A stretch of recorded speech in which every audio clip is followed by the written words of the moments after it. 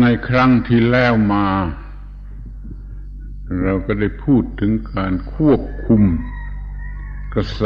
แห่งปฏิจจสมุปบาท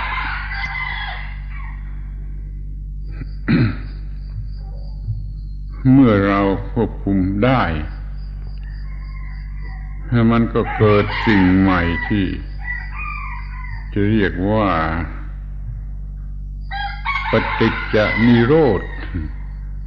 คือการดับลงแห่งปฏิจจสมุปบาท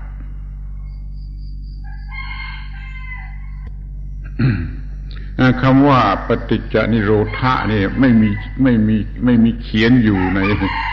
ในพระบาลี เรารู้เอาเองโดยที่ข้อความนะที่กล่าวในตอนนี้มีแต่ว่านิโรโท นิโรโท นิโรโท จึงเรียกว่าปฏิจจ นิโรธ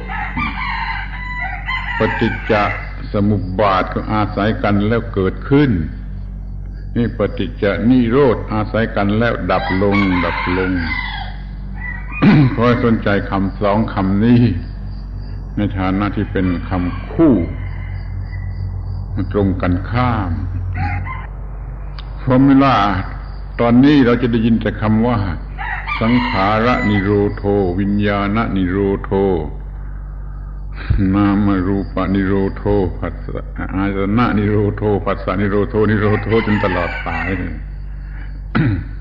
เราจึงเรียกว่า ปฏิจจนิโรธะอาศัยกันแล้วดับลง ดับลง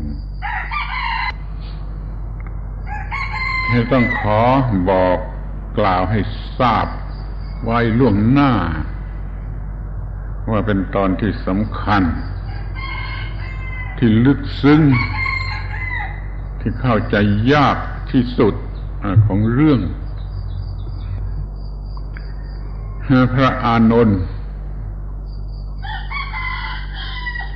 ได้เข้าไป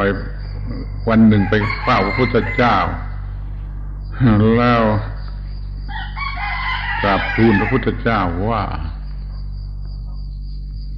เรื่องปฏิจจสมุปบาทเนี่ย ปรากฏแก่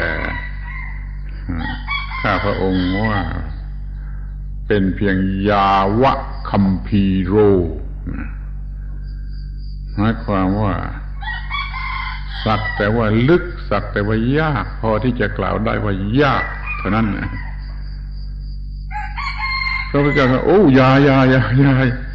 อย่าพูดอย่างนี้อานนท์อย่าพูดอย่างนี้คนอย่างนี้ สำนวนตอนนี้มีความหมายลึก ถ้าพูดอย่างเราพูดเนี่ยถ้าพูดอย่างเราพูดกันตามธรรมดาคนธรรมดาพูดนี่ก็จะพูดว่าไอ้บ้าไอ้บ้ามึงอย่าพูดอย่างนั้นสิจะต้องเป็นถึงขนาดนี้นะที่ความลึกของคำว่าปฏิจจสมุปบาทคือคัมภีโรคัมภีโร ลึกซึ้งลึกซึ้งแต่พระอานนท์ทูลว่ายาวะคัมภีโร ยาวะคัมภีโร สักว่าลึกซึ้งสักว่าจะพูดว่าลึกซึ้งเท่านั้นพระพุทธเจ้าอย่าพูดอย่างนั้นอย่าพูดอย่างนั้นมีความหมายรุนแรงมากนะเหมือนกับว่าตะเพิดเราต้องถือว่าเป็นเรื่องลึกซึ้งที่สุด ที่สุดในสากลจักรวาลใน whole universe นี่หรือว่า ใน time and space ที่เป็น infinity เนี่ย ไม่มีเรื่องอะไรจะยากเท่ากับเรื่องนี้ ไม่มีเรื่องอะไรจะยากเท่ากับเรื่องนี้ขอให้เข้าใจอย่างนี้และเตรียมเพื่อเราจะฟังเรื่องที่ยากที่สุด ตัวอย่างเช่นเราจะได้ยินคำว่า นามรูป mind body ดับนะดับ แต่คนไม่ตาย แต่คนไม่ตายนี่ มันมันลึกอะไรมันยากอะไร ยากที่จะเข้าใจได้อะไรนี่จะต้องเตรียมไว้สำหรับฟังไอ้คำที่มันเข้าใจยากอย่างนี้มันเป็นเรื่องกลับตรงกันข้ามกับเรื่องปฏิจจสมุปบาทกลับตรงกันข้าม เป็นอะไรเป็นไวซิเวอร์ซ่าของของปฏิจจสมุปบาท เรียกว่าปฏิจจนิโรธที่นี่เราก็มีคำฟอร์มูล่าแรกว่า วิชายะตะเววะอเสสะวิราคะนิโรโทสังฆาอนิโรธาสังขาระนิโรโท เพราะอาวิชชาดับไปไม่เหลือไม่เหลือ สังขารก็ดับนั่นเมื่ออวิชชาดับ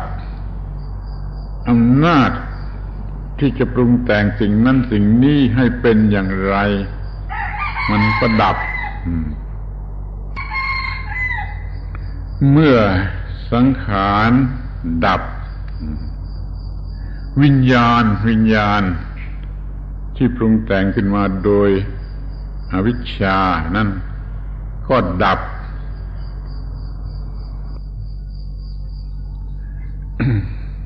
นี่เข้าใจยาก วิญญาณ วิญญาณในที่นี้ก็เป็นสิ่งที่สังขารปรุงขึ้นมาสำหรับให้เกิดการปรุงหรือการกระทำทาง กายทางวาจาทางใจ ที่เรียกว่ากายสังขารวจีสังขารมโนสังขารถ้าวิญญาณนี้มันมี มันก็มีหน้าที่ที่จะปรุงแต่งกายวาจาใจนี่ทีนี้เมื่อสังขารอำนาจการปรุงแต่งดับไอ้วิญญาณชนิดนี้ก็ไม่ถูกปรุงขึ้นมา วิญญาณชนิดนี้ไม่ถูกปรุงขึ้นมา เมื่อวิญญาณที่มาจากอาวิชชาดับ นามรูปที่ปรุงขึ้นมาจากวิญญาณนี้ก็ต้องดับ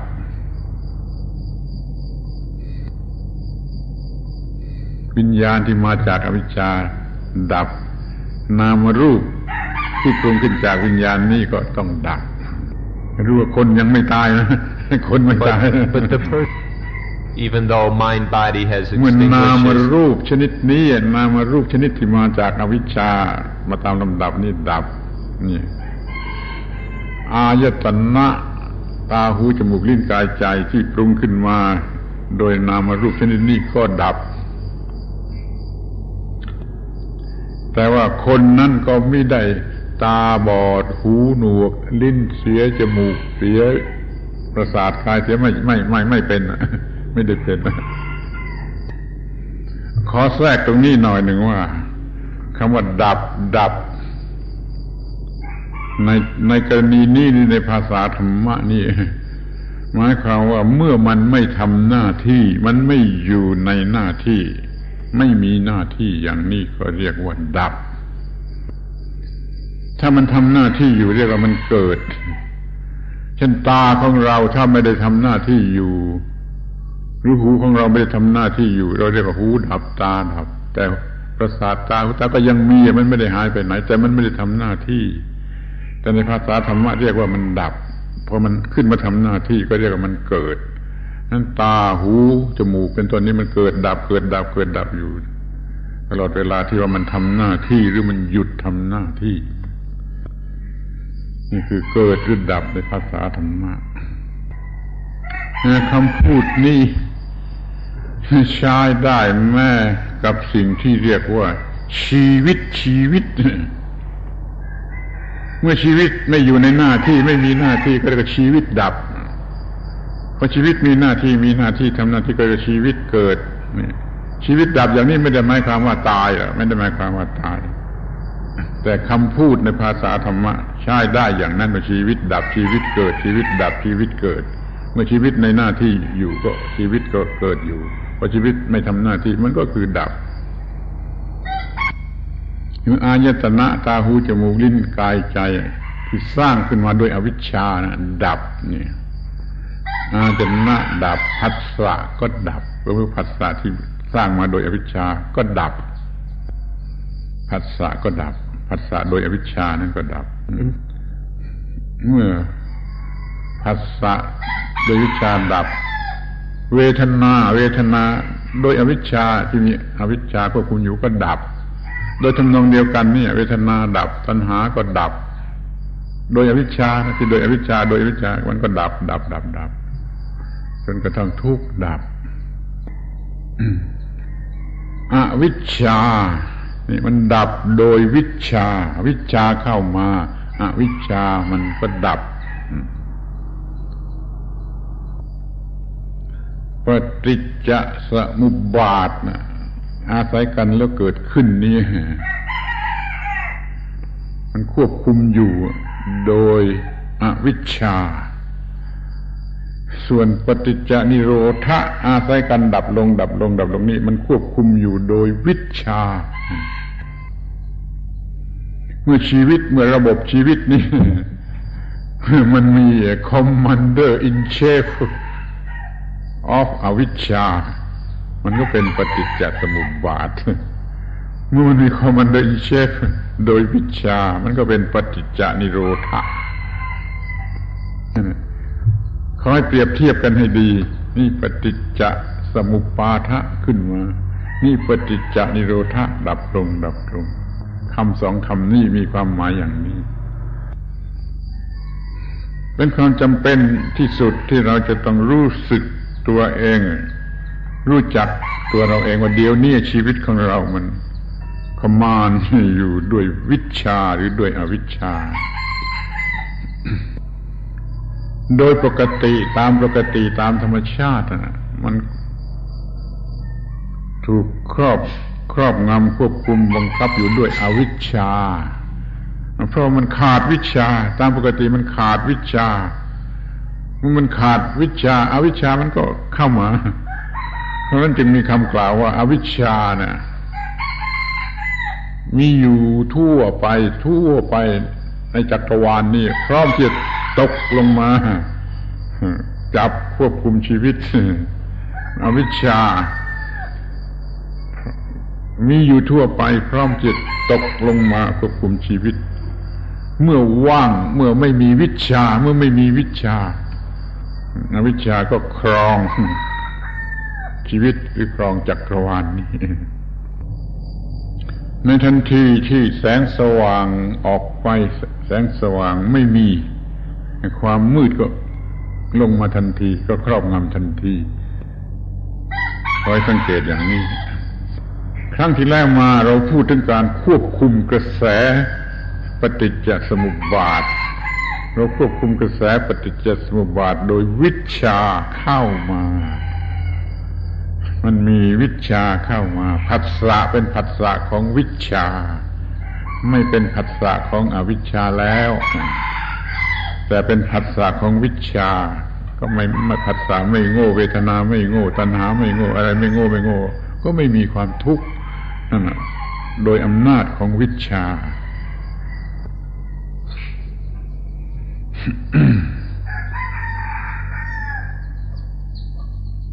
นี่เราเห็นได้ทันทีว่าเรา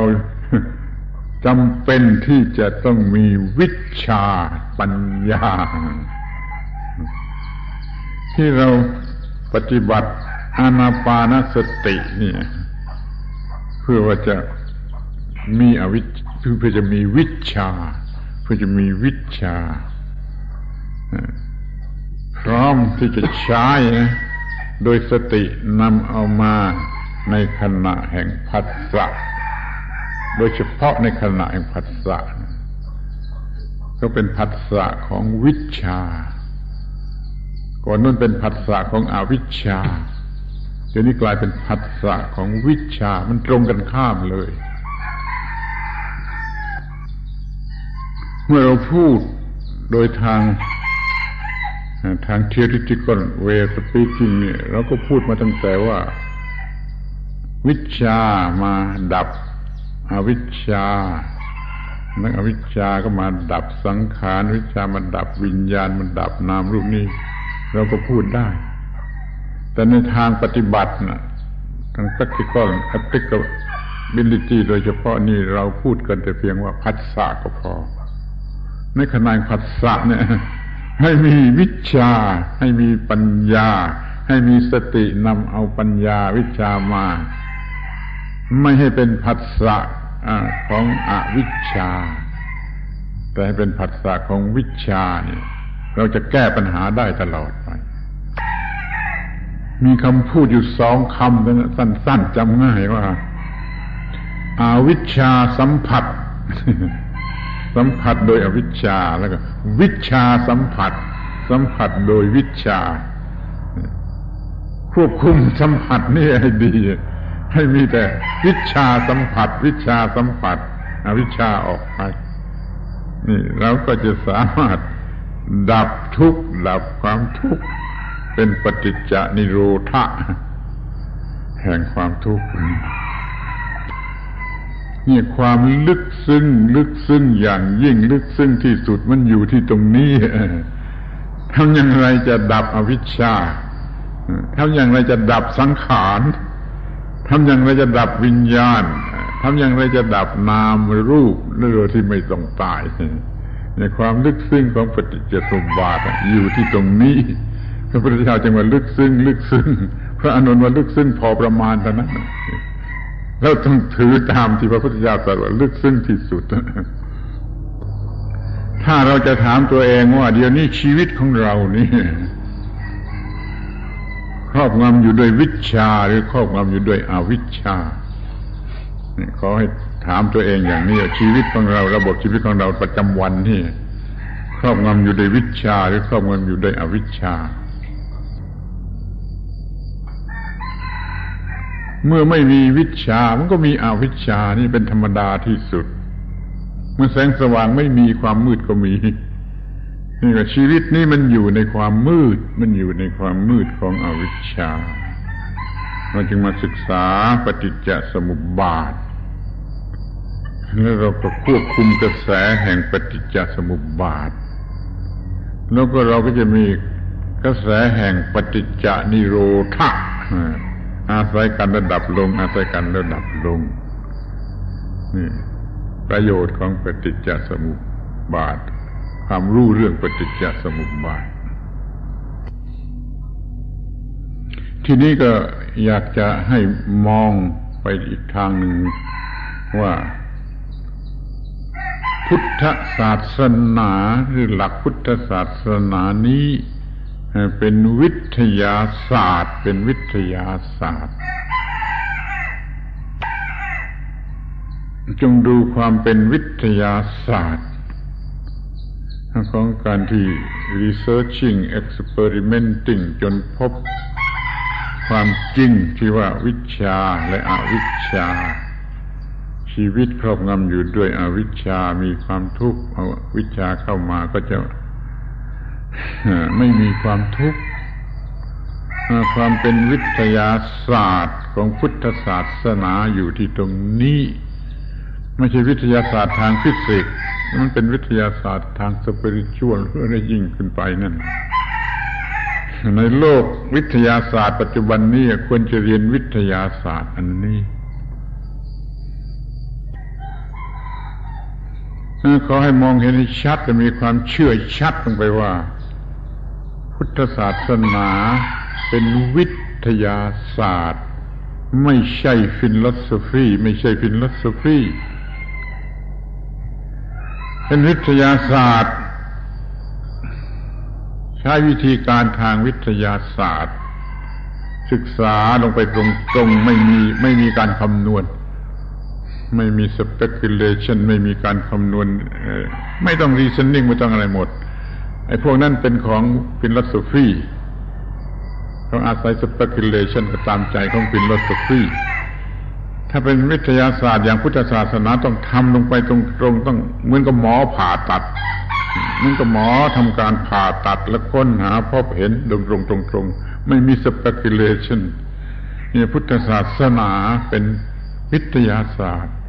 ไม่ใช่ philosophy เดี๋ยวนี้พวกเราในโลกเนี่ยมันชอบ philosophyมันหลง philosophy เป็นยาเสพติด ยาเสพติดหรือยาเสพติดเฮโรอีนไม่ philosophy นั้นเราก็เอาพุทธศาสนาเนี่ยไปทำเป็น philosophy นี่ทำได้ นี่ทำได้แม้พุทธศาสนาจะเป็นวิทยาศาสตร์ แต่ก็เอาไปพูดอย่าง philosophy ได้ แต่ไม่มีประโยชน์ ไม่รู้จักจบไม่มีจบ ขอให้สังเกตว่า philosophy ไม่มีจุดจบเหมือนกับทางรถไฟสองเส้น ทางรถไฟสองเส้นจะเป็นคู่กันไปตลอดไปไม่มีการพบกันนี่ไม่มีจุดจบ เนี่ย ลักษณะของ philosophy มันต้องเป็นวิทยาศาสตร์ต้องมีจุดจบต้องมีการพบความจริงที่ตัดตัดความทุกข์ได้ก็ให้เรายุกเอาระบบวิทยาศาสตร์มาใช้เถิด เอาระบบฟิโลโซฟีไปฟังดินเถิด ถ้าเอาไปฟังดินไม่พอนะ เอาไปเผาไฟ เอาไปเผาไฟ แล้วก็เอาขี้เท่าไปโยนทะเล นี่จะหมดจะหมดจริง ๆ โดยหลักของกาลามสูตร เราไม่อาจจะพบความจริงได้ โดยวิธีที่เราเรียกว่า เรียกบาลีว่าตักกะ ตักกะนั่นคือ logic เราไม่อาจจะพบความจริงได้ โดยวิธีของยายะนยะนยายะ นั่นคือ philosophy เนี่ย ตักกะหรือ philosophy logic หรือ philosophy ไม่อาจจะช่วยเราพบตัวพุทธศาสนาเราก็ได้แต่ speculation เรื่อยไปในแบบของฟิลโสฟีท่านคงจะเคยได้ยินได้ฟังคำพระพุทธเจ้าตรัสว่า เห็นธรรมะ จึงจะเห็นเรา เห็นร่างกายเห็นร่างกายของเราเนี่ยไม่จะจับร่างกายของเราไว้จับจีวันของเราไว้ก็ไม่ชื่อว่าเห็นเราคำพูดนี้ท่านหมายถึงว่าเห็นธรรมะ จึงจะเห็นเรา ที่เห็นธรรมะนั่นตรัสว่าคือเห็นปฏิจจสมุปบาท เห็นปฏิจจสมุปบาทแล้วจึงจะเรียกว่าเห็นธรรมะ เห็นธรรมะแล้วจึงจะเรียกว่าเห็น พระพุทธเจ้าพระองค์จริง เด็กๆหรือคนโง่ หรือคนไม่มีปัญญาแล้วก็เห็นพระพุทธเจ้าที่ร่างกายของพระพุทธเจ้า ร่างกายนี้ไม่ใช่พระไม่ใช่องค์พระพุทธเจ้า เป็นเปลือกเปลือกของพระพุทธเจ้าเขาเห็นพระพุทธเจ้าที่เปลือกคือที่ร่างกาย พระเจ้าจะไม่ใช่ไม่เห็น ถ้าว่า โง่มากกว่านั้นอีก เนี่ยเขาก็เห็นพระพุทธเจ้าที่พระพุทธรูป พระพุทธรูปเดี๋ยวนี้เต็มไปหมดพระพุทธรูปเห็นพระพุทธเจ้าที่พระพุทธรูปบ้างเป็นพระเจ้าที่ร่างกายนี่ว่าไม่ใช่ ไม่ใช่พระพุทธเจ้าพระองค์จริง ต้องเห็นธรรมะ เห็นธรรมะคือเห็นปฏิจจสมบาทเห็นปฏิจจสมุปบาทคือเห็นว่า ความทุกข์เกิดขึ้นอย่างไร ความทุกข์ดับลงอย่างไรเนี่ยเห็นทั้งปฏิจจสมุปบาทเห็นทั้งปฏิจจนิโรธา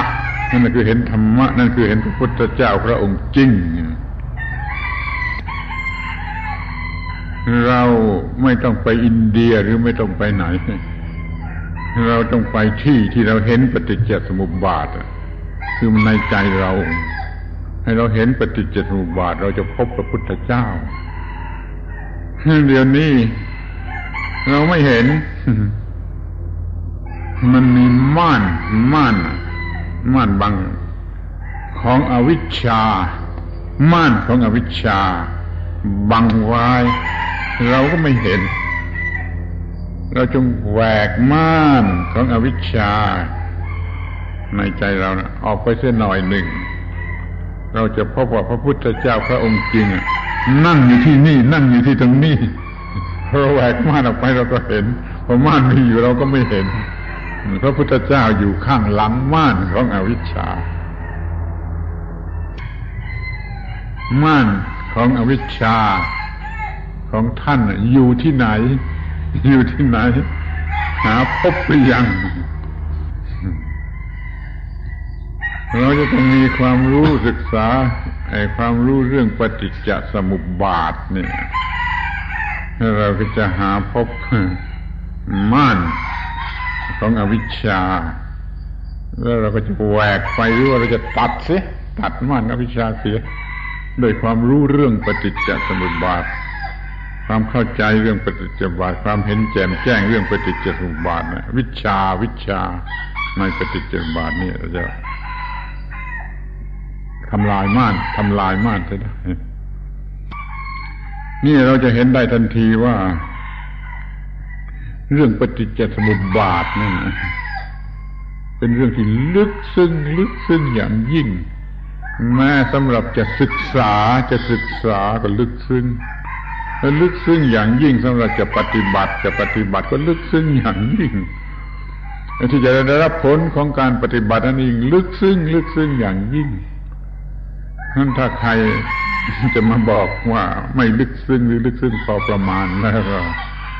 เราจะบอกเขาว่าไอ้บ้า ไอ้บ้า อย่าพูดอย่างนั้น อย่าพูดอย่างนั้น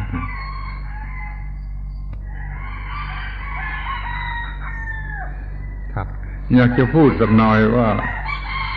อย่าอย่าห้าอย่าหาว่าเป็นอารแกนซื้ออะไรนะ ไม่โอหังอะไรนะท่านไม่เคยได้ยิน คำอธิบายปฏิจจสมุปบาทอย่างนี้ใช่ไหมหนังสืออธิบายปฏิจจสมุปบาทเขียนโดยชาวลังกา ชาวอินเดียชาวยุโรปเองก็เขียนเรื่องปฏิจจสมุปบาท มีหนังสือเรื่องปฏิจจเยอะแยะ และมีคำอธิบายอย่างนี้ไหมเขาเขียนอธิบายปฏิจจสมุปบาท ตามแนวที่พระพุทธโกษาจารย์เขียนหนังสือวิสุทธิมรรคแล้วอธิบายไว้ แล้วเขาก็แอดแทชหนังสือเล่มนั้นแล้วก็พูดอย่างนั้นแม้ฝรั่งมาศึกษาก็ศึกษาอย่างนี้ ฝรั่งก็เขียนปฏิจจสมุปบาทตามนี้ขอท้าทายว่าไปดู หนังสือปฏิจจสมุปบาทที่เขียนขึ้นมาแล้วในโลกทุกเล่มน่มันอธิบายตามวิสุทธิมรรคทั้งนั้นถ้าบางท่านอาจจะเคยอ่านหนังสือเหล่านั้นมาแล้วนะ หรือว่าท่านจะไปหามาอ่านไปซื้อมาอ่านทุก ๆ เล่มเรื่องปฏิจจสมุปบาทที่ได้เขียนขึ้นแล้ว แล้วก็ท่านลองคิดดูว่าไอ้หลักการอย่างนั้นมันจะเอามา apply apply ได้ไหมที่จะดับทุกข์จะดับความทุกข์กันให้สิ้นเชิงอย่างนี้วิธีอย่างนั้นวิธีอย่างนั้นจะมา apply ได้ไหมจะรู้สึกได้ด้วยตนเองว่ามันไม่ไหว เพราะเราก็ยกไว้ให้ว่าเป็นคำอธิบายอีกแบบหนึ่ง เพื่อประโยชน์ทางศีลธรรม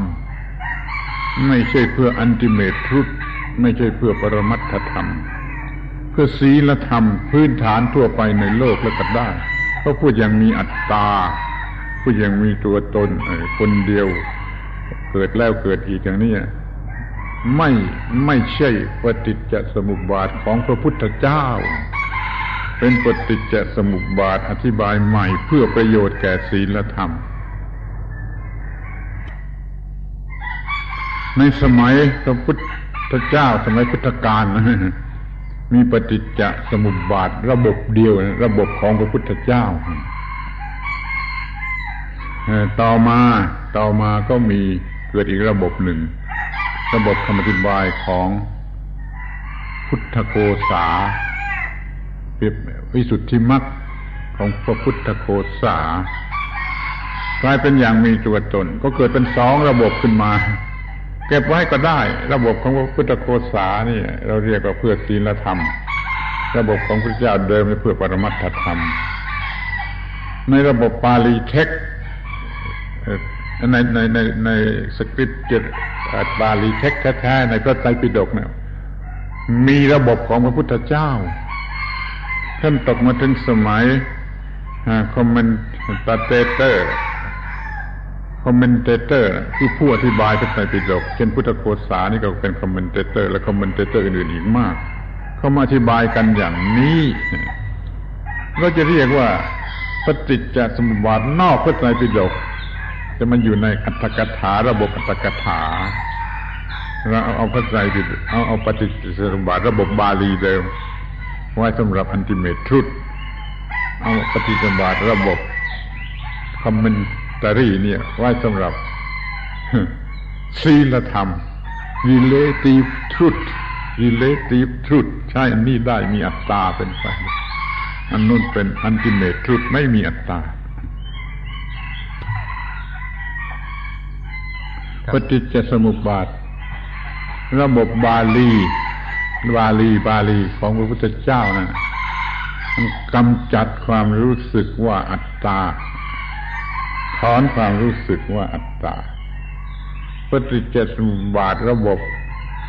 คอมเมนเตเตอร์ อัตกถา ข้างหลังนี่ยยืนยันมีอัตตาเพื่อจะส่งเสริมความมีอัตตาอย่างดี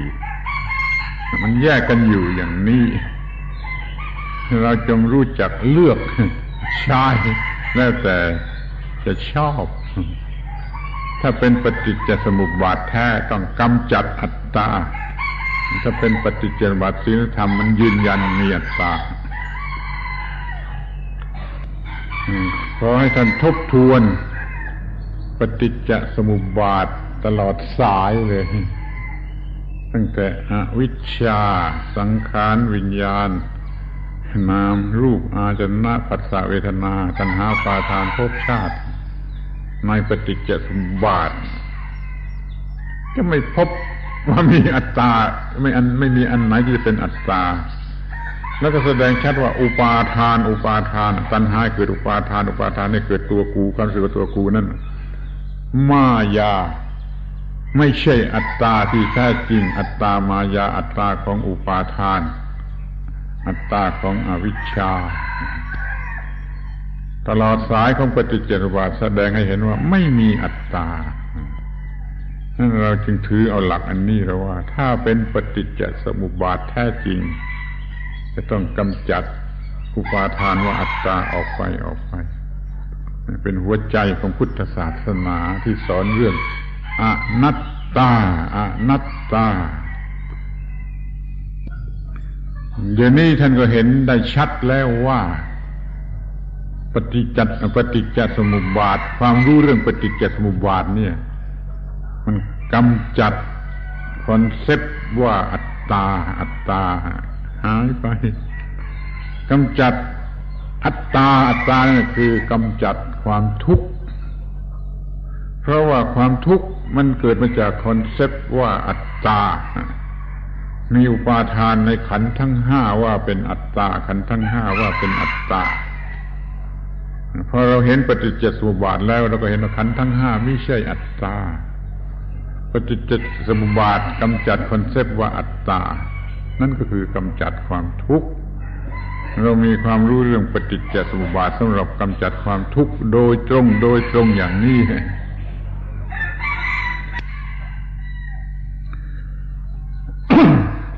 ความรู้ทางธรรมะที่สูงสุดในประเทศอินเดียก่อนพระพุทธเจ้าเกิดนะก็สูงสุดอยู่ที่เรียกว่า อุปนิสัตอุปนิสัตคำนี้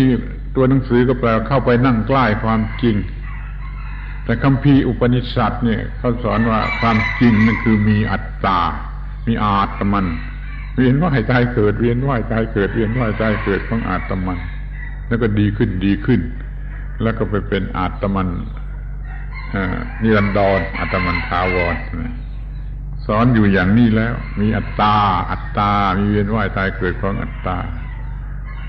ถ้าพระพุทธเจ้าเกิดขึ้นมาสอนเรื่องอัตตาเรื่องตายเกิดอีกจะมีประโยชน์อะไรเขาสอนอยู่แล้ว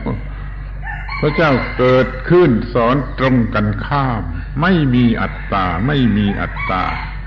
มีแต่กระแสแห่งปฏิจจสมุปบาท ถ้าเป็นกระแสปฏิจจสมุปบาทก็เป็นทุกข์ถ้าเป็นกระแสแห่งปฏิจจานิโรธะก็ไม่มีทุกข์ยกเลิกอัตตา ทั้งระบบของอัตตา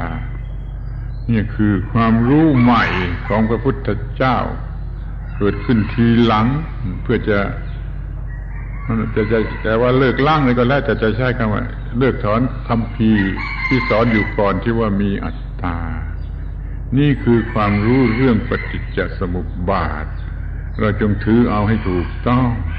แล้วก็มากำจัดอัตตาอัตตาเสียแล้วความทุกข์ก็ไม่เกิดเพราะความทุกข์เกิดมาจากอัตตา เราควรจะทราบไว้ว่าภาษาพูดหรือคำพูดเนี่ยมีสองชนิด สองความหมายหรือสองชั้น คือภาษาคนธรรมดาพูด นี่ชั้นหนึ่งเรียกว่าภาษาคน พูดอย่าง relative truth ที่นี่คนรู้เขาพูดอย่างภาษาอีกคือภาษาของผู้รู้เขาพูด ultimate truth เรียกว่าภาษาธรรม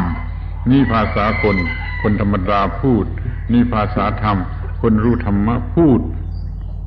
คำพูดทุกคำมีความหมายเป็นสองอย่างอย่างนี้ เรื่องความเกิดก็ดี เรื่องความตายก็ดี เรื่องความเกิดใหม่เวียนว่ายตายเกิดอย่างนี้ก็ดีมีสองความหมาย โดยภาษาคนหรือโดยภาษาธรรม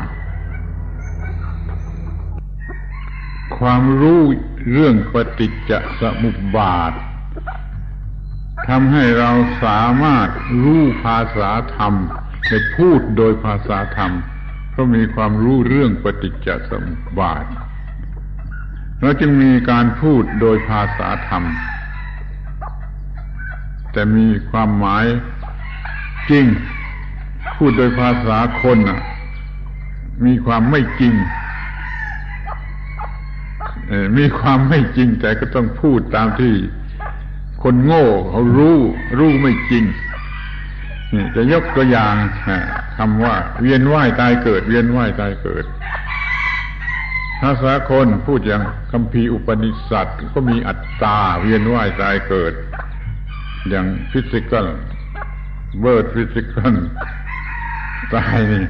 คือเอาร่างกายเนี่ยเกิดแล้วเกิดอีกเกิดแล้วเกิดอีกจากท้องแม่ แล้วก็ตายแล้วเกิดอีกตายแล้วเกิดอีกต่างต่างทางร่างกายที่ในภาษาธรรมของปฏิจจสมุปบาทก็มีเวียนว่ายตายเกิดเหมือนกันนะ เวียนว่ายตายเกิดของอิลูซีฟอัตตานะอุปาทาน อุปาทานในขณะปฏิจจสมุปบาทอุปาทานนั่นนะก็มีภพมีชาติเกิดแห่งอัตตา illusive illusive ก็ตายแล้ว เดี๋ยวอวิชชาเหลืออยู่ เดี๋ยวก็มีอุปาทานอัตตาอีกปฏิจจสมุปบาททีหนึ่ง ก็มีเกิดทีหนึ่ง ปฏิบัติอีกทีหนึ่งก็มีเกิดอีกทีหนึ่งก็มีการเกิดแล้วเกิดอีก แล้วเป็นเนื่องกันเพราะอวิชชามันเหลืออยู่ อวิชชาของอันนี้เหลืออยู่สนองอันนั้น ก็มีเวียนว่ายตายเกิดของอัตตาที่ไม่มีใช่ไม่ใช่ตัวจริง อัตตาของอวิชชา นี่ก็เป็นเวียนว่ายตายเกิด ที่แท้จริงตามปฏิจจสมุปบาทนั้นระวังให้ดีคำพูดมันเป็นสองความหมายอย่างนี้ ถ้าเราไม่รู้ว่ามันมีสองความหมายอย่างนี้จะปนกันหมด จะไม่เข้าใจความรู้ปฏิจจบาทช่วยได้มาก ช่วยให้เรารู้ภาษาธรรมและพูดโดยภาษาธรรม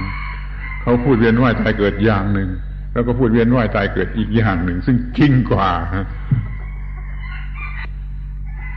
ทีนี้ก็มาถึงคำพูดที่สำคัญที่สุดคำหนึ่งคือคำว่า rebirth คือเกิดใหม่ ซึ่งเป็นปัญหาถามมันอยู่ตัวทั่วไป rebirth มีหรือไม่มี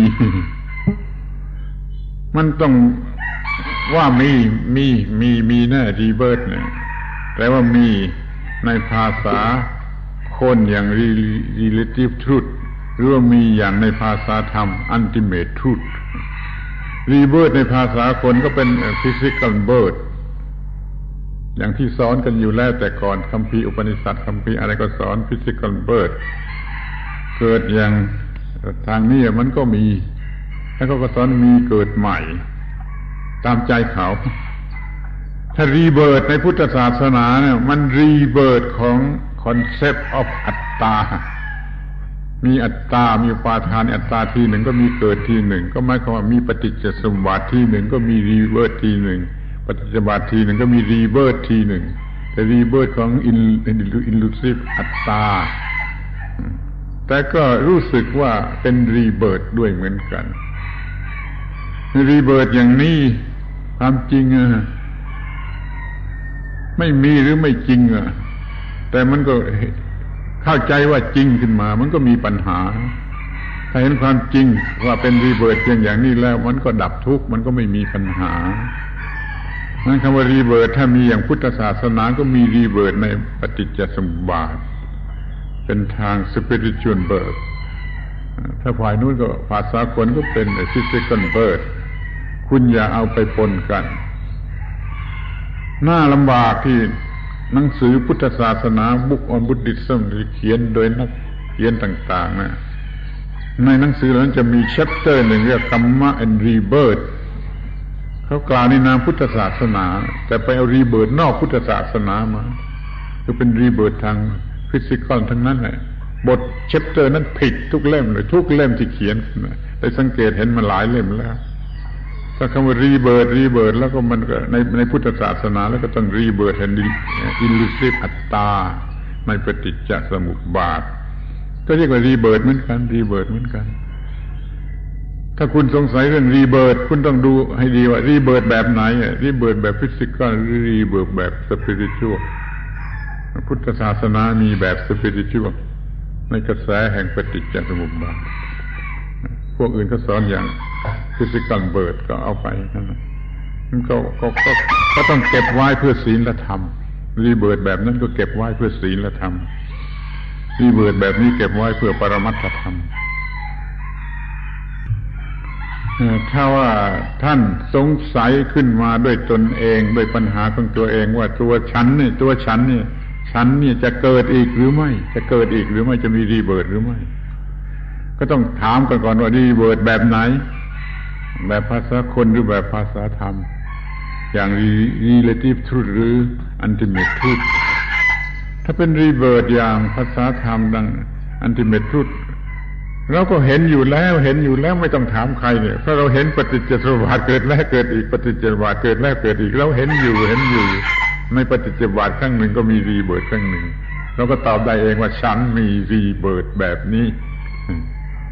แต่ถ้าเป็น rebirth แบบภาษาคนอย่าง physical นั้นรู้ไม่ได้นะ เราเห็นไม่ได้นะ แต่ถ้าอย่างภาษาธรรมเราเห็นได้ เห็นปฏิจจสมุปบาทเราเห็นได้ เราเห็นได้ว่า rebirth rebirth แต่ถ้า rebirth อย่างภาษาคนอย่างทางร่างกายนี้เราเห็นไม่ได้ เราเข้าใจไม่ได้ เราต้องเชื่อคนอื่น เราต้องเชื่อคนอื่น เราไม่มีความจริงของตัวเองอะถ้าที่ rebirth อย่างภาษา คนน่ะคือเกิดทางกายนี้ไม่ใช่ปัญหา ไม่ใช่ปัญหา ความทุกข์ไม่ได้เกิดที่ rebirth แบบนั้น ความทุกข์เกิดที่ rebirth แบบนี้คือแบบภาษาธรรมในปฏิจจสมุปบาทเนี่ยความทุกข์เกิดที่ rebirth แบบนี้ แล้วก็อย่ารีเบิร์ดแบบนี้รีเบิร์ดแบบนั้นปล่อยไว้ก็ได้ เพราะเราก็เห็นไม่ได้มันแต่ไม่ได้ด้วยตนเองไม่เป็น subjective โดยตนเอง ก็ปล่อยไว้อย่างนั้นแหละเพราะว่ามันมีประโยชน์ มีประโยชน์ทางศีลธรรม ทางศีลธรรม ทาง morality ให้คนเด็กๆ ให้คนรุ่นน้อยแล้วเขาเขาเขาเชื่ออย่างนั้นเขาเชื่ออย่างนั้นแล้วเขาก็ทำดีทำแต่ความดีมีมีศีลและธรรม rebirth แบบนั้นก็ดีก็มีประโยชน์ แต่ไม่ใช่ความจริง ไม่ใช่ ultimate truth เป็น relative truth มีประโยชน์ทางศีลธรรมก็เก็บไว้นี่ rebirth rebirth เป็นอย่างนี้ เดี๋ยวนี้เราก็มี rebirth rebirth ที่เป็น subjective แก่เราเราเห็นเองเรียกว่า สันทิฏฐิโก สันทิฏฐิโก เห็นโดยตัวเองสันทิฏฐิโก มี rebirth ที่เราเห็นเอง เห็นจริงไม่ต้องเชื่อใคร เรามี rebirth ทุกๆ คราวที่มีปฏิจจสมุปบาทขึ้นในใจ ทุกรอบของปฏิจจสมุปบาทในใจเราก็มี rebirth นี่ rebirth ที่แท้จริง